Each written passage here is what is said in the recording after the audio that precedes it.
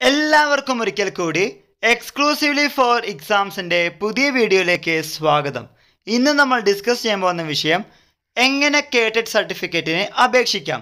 ഇതിലേക്ക് കടക്കുന്നതിന് മുമ്പായി ഈ വീഡിയോ ഇഷ്ടമാവുകയാണെങ്കിൽ ലൈക്ക് ചെയ്യുക ഷെയർ ചെയ്യുക സബ്സ്ക്രൈബ് ചെയ്ത് സപ്പോർട്ട് ചെയ്യുക. അപ്പോൾ നമുക്ക് ഇന്നത്തെ വിഷയത്തിലേക്ക് വരാം. പലപ്പോഴും നമ്മൾ സർട്ടിഫിക്കറ്റ് കിട്ടാനുള്ള നടപടിക്രമങ്ങൾ മറന്നു പോകാറുണ്ട്. എത്ര വട്ടം പറഞ്ഞാലും നമ്മുടെ മനസ്സിൽ നിൽക്കണമെന്നില്ല. അതുകൊണ്ട് നമ്മൾ ഇന്ന് എങ്ങനെ കേട്ടഡ് സർട്ടിഫിക്കറ്റിന് വേണ്ടിയുള്ള വേരിഫിക്കേഷൻ പ്രോസസ്സ് എന്ന കാര്യം ഡീറ്റെയിൽ ആയി പറയാൻ ശ്രമിക്കുന്നുണ്ട്. വീഡിയോ മുഴുവനായും കാണാൻ ശ്രമിക്കുക. ഇവിടെ കൊടുത്തിരിക്കുന്നത് കേട്ടഡ് ഉദ്യോഗാർത്ഥികൾക്കുള്ള നിർദ്ദേശങ്ങളാണ്.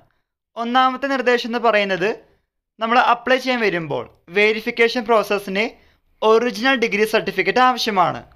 പ്രൊഫഷണൽ ആണെങ്കിൽ അത് ആറ് മാസത്തിനുള്ളിലായിരിക്കണം.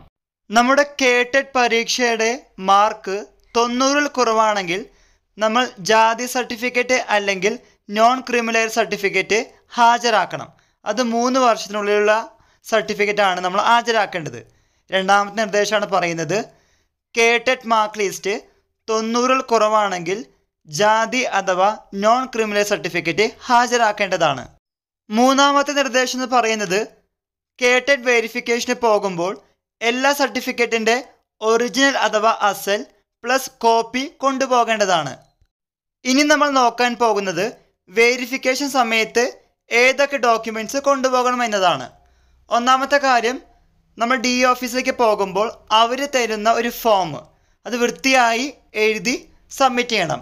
കൂടാതെ നമ്മൾ പരീക്ഷ എഴുതിയ ഇപ്പോൾ കേട്ടഡ് വൺ ടു ത്രീ ഫോർ ഏത് കാറ്റഗറിയാണ് എഴുതിയിരിക്കുന്നത്?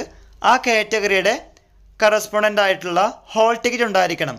ഹോൾ ടിക്കറ്റ് നഷ്ടമായിട്ടുണ്ടെങ്കിൽ അത് പ്രിന്റ് ഔട്ട് ചെയ്ത് പരീക്ഷ എഴുതിയ ആ സ്കൂളിലോ കോളേജിൽ പോയിട്ട് ഇൻഡിവിജ്വലായിട്ടുള്ള ഒപ്പുണ്ടെങ്കിൽ മാത്രമേ അത് കറക്റ്റ് ആവൂ. അല്ലെങ്കിൽ ജെന്യൂൻ ആവുള്ളൂ. അത് അംഗീകരിക്കുകയുള്ളൂ. രണ്ടാമത്തെ കാര്യം കോപ്പി ഓഫ് ഹോൾ ടിക്കറ്റ് മൂന്നാമത്തേത് നമ്മുടെ കേട്ടഡ് മാർക്ക് ലിസ്റ്റിന്റെ കോപ്പി നാലാമത്തേത് എസ് എസ് എൽ സിയുടെ കോപ്പി അഞ്ചാമത്തേത് പ്ലസ് ടുവിന്റെ കോപ്പി വേണം. ആറാമത്തേത് നമ്മുടെ ഡിഗ്രി സർട്ടിഫിക്കറ്റ് അതിപ്പോൾ പ്രൊഫഷണലിസ്റ്റ് ആണെങ്കിലും കുഴപ്പമൊന്നുമില്ല. Then copy of T T C B Ed നമ്മുടെ ഈ പറയുന്ന പരീക്ഷയുടെ യോഗ്യത എന്താണ്? ടി ടി സി അഥവാ ബി എഡ് ആണല്ലോ.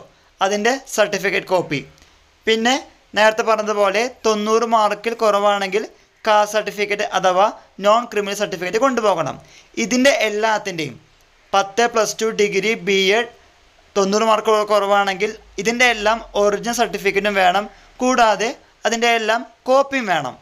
പിന്നെ ഡിഗ്രിയുടെയും ബി എഡിന്റെയും മാർക്ക് ലിസ്റ്റുകൾ ആവശ്യമില്ല. കൂടാതെ നിങ്ങൾ പരീക്ഷ എഴുതിയ കാറ്റഗറിയുടെ ഹോൾ ടിക്കറ്റുകൾ ഭദ്രമായി സൂക്ഷിച്ചു വെക്കേണ്ടതാണ്. വെരിഫിക്കേഷൻ സമയത്ത് ഹോൾ ടിക്കറ്റ് നിർബന്ധമായും കാണിച്ചു കൊടുക്കേണ്ടതാണ്. ചിലപ്പോഴൊക്കെ എനിക്ക് തോന്നാറുണ്ട് ഈ പരീക്ഷ ജയിക്കുന്നതിനേക്കാൾ ശ്രമകരമാണ് സർട്ടിഫിക്കറ്റ് വാങ്ങിക്കുക എന്ന കാര്യം. അതുകൊണ്ട് റിസൾട്ട് വന്നതിന് ശേഷം നിരന്തരം നിങ്ങളുടെ പരീക്ഷാ സെന്റർ ഉൾപ്പെടുന്ന ഡി ഇ ഓഫീസിലേക്ക് വിളിച്ച് ചോദിക്കുന്നത് നല്ലതാണ്. ദൃശ്യപത്ര മാധ്യമങ്ങൾ റിപ്പോർട്ട് ചെയ്യുമെന്ന് പറയുമെങ്കിലും പലപ്പോഴും നമ്മൾ കാണണമെന്നില്ല. ഈ പറഞ്ഞ കാര്യങ്ങൾ മനസ്സിലായെന്നും എന്തെങ്കിലും സംശയമുണ്ടെങ്കിൽ കമന്റ് ബോക്സിൽ ചോദിക്കാനും മറന്നു പോകരുത് എല്ലാവർക്കും ഒരിക്കൽ കൂടി നന്ദി നമസ്കാരം.